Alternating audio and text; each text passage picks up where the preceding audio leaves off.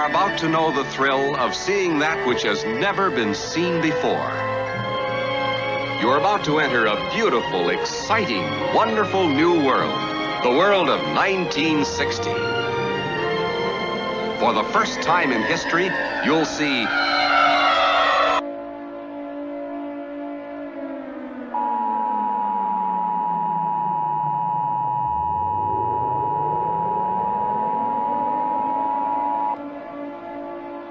We interrupt your regular programming. This is a national emergency. The President of the United States or his designated representative will be speaking shortly on the emergency broadcast system.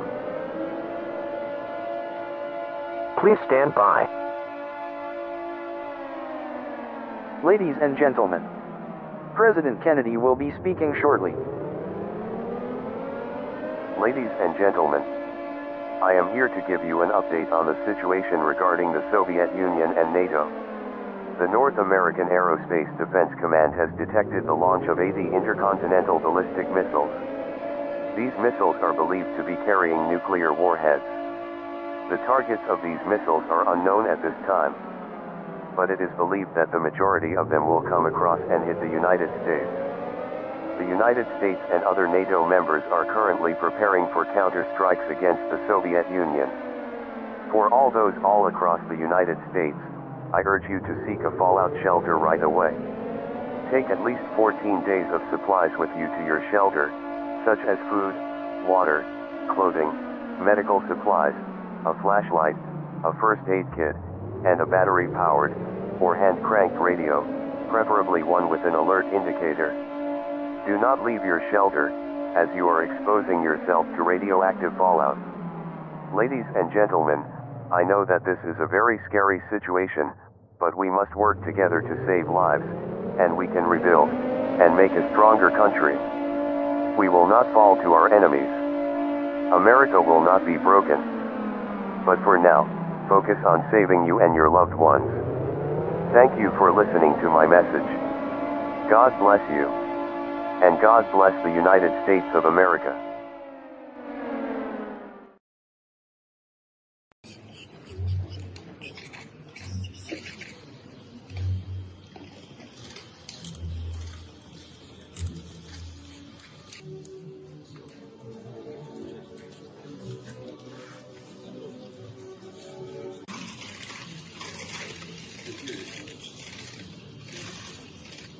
А Даша говорит, что Даша был бы приятно услышать, сейчас она слышит мои слова, простите.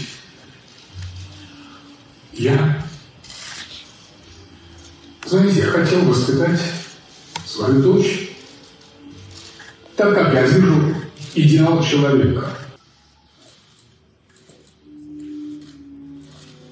Потому что она погибла за народ, она погибла за Россию на фронте,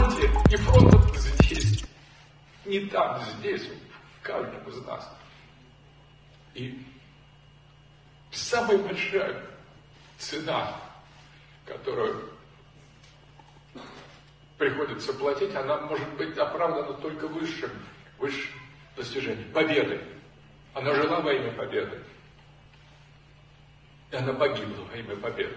Нашей русской победы, нашей истины, нашей православия, нашей страны, We have a Soviet launch detection. The confirmed a massive attack. Missile warning, no malfunction. Confidence is high. I repeat, confidence is high. Cobra data, this is an exercise. Negative, this is not an exercise. General, DBS is tracking 300 inbound Soviet ICBM.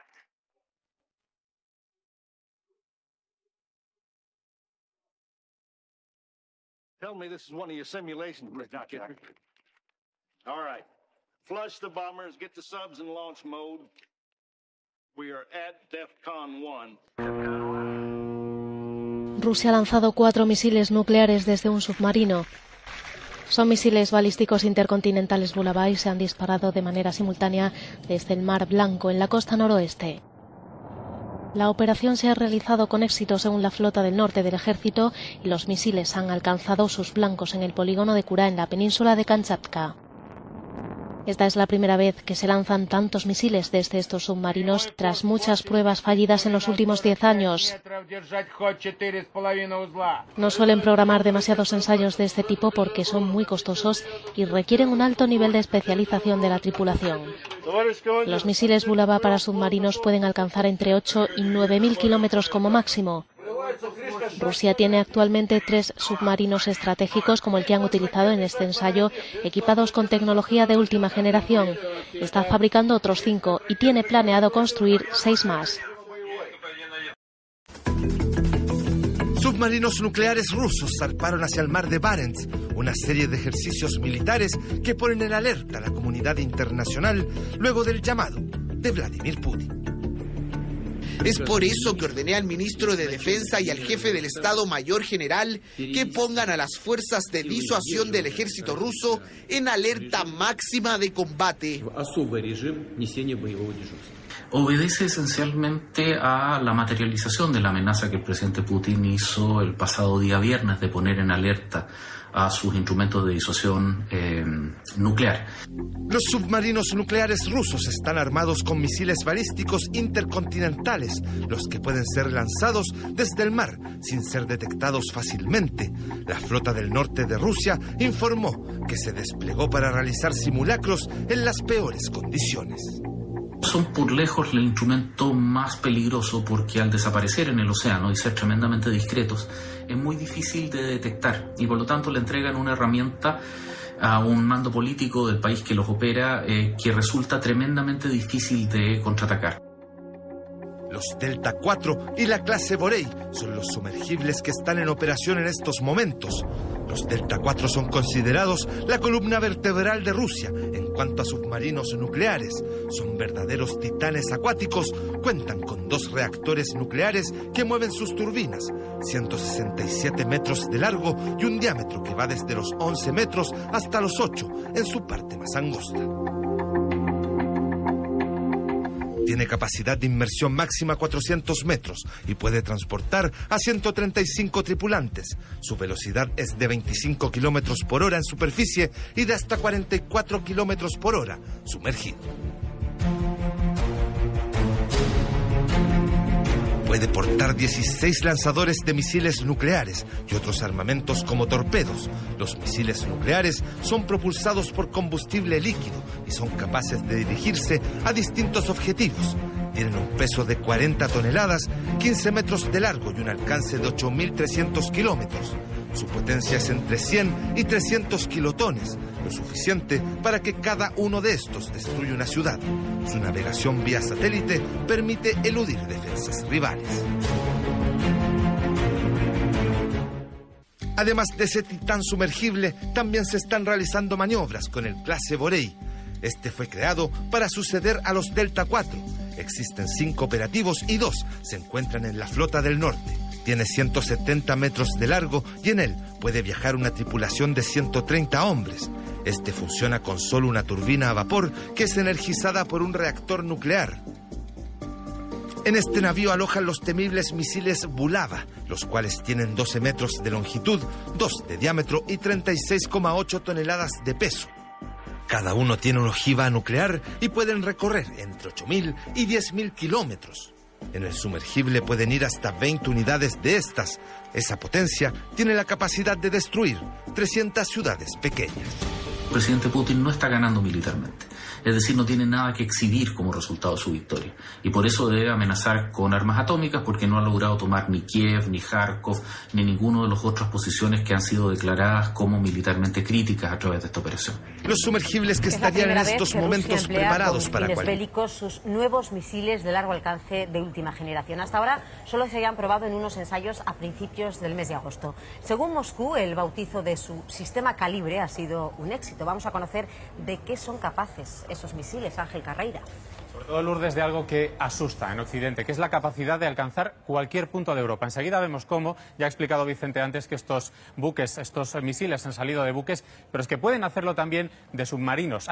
Toda una gama, algunos con capacidad nuclear, miden entre 6 y 8 metros de largo, tienen un diámetro de poco más de medio metro y pesan entre una y dos toneladas. Pero la clave está realmente en sus capacidades. La principal, que vuelan muy, muy bajo, a solo unos 50 metros de la superficie para evitar los radares, lo hacen por zonas despobladas y a una velocidad que puede alcanzar los 3.500 kilómetros por hora justo en el momento antes de impactar hasta un máximo de 2.000.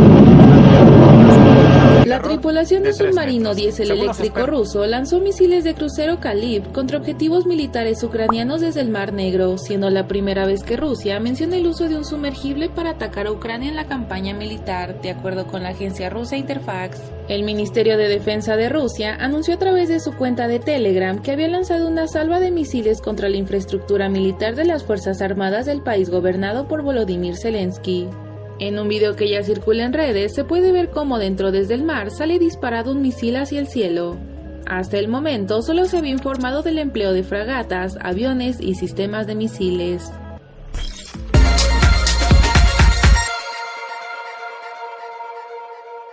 Rusia, con un potente ataque, rompe el último reducto de Ucrania, en Mariupol. Rusia, informa que ha comenzado a destruir las posiciones de las fuerzas ucranianas en la planta de Azovstal, después de que Ucrania se aprovechara del alto el fuego. El Ministerio de Defensa ruso ha denunciado que los soldados ucranianos usaron una tregua anunciada por Moscú, con el objetivo de evacuar a civiles de la planta de Azovstal, en la ciudad de Mariupol, en el sureste de Ucrania, para tomar posiciones de fuego en ese lugar. Se declaró un alto el fuego, los civiles tuvieron que ser evacuados del territorio de Azovstal.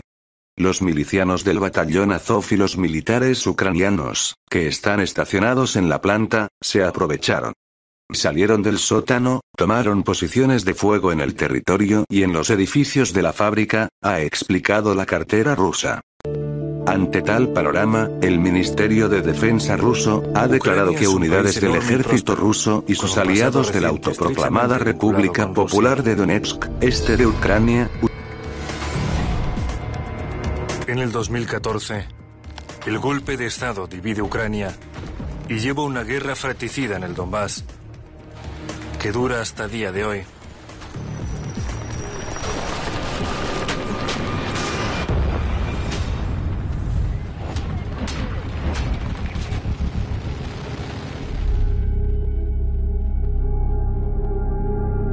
Cerca de Lugansk, al lado de un gran campo, hay una enorme tumba. Aquí están enterrados en su mayoría los civiles asesinados en verano del 2014 por las fuerzas ucranianas. Solo aquí, en este mismo lugar, están enterrados entre 300 y 500 civiles asesinados por la Dirección Político-Militar de Ucrania. Podemos definirlo con una sola palabra, genocidio.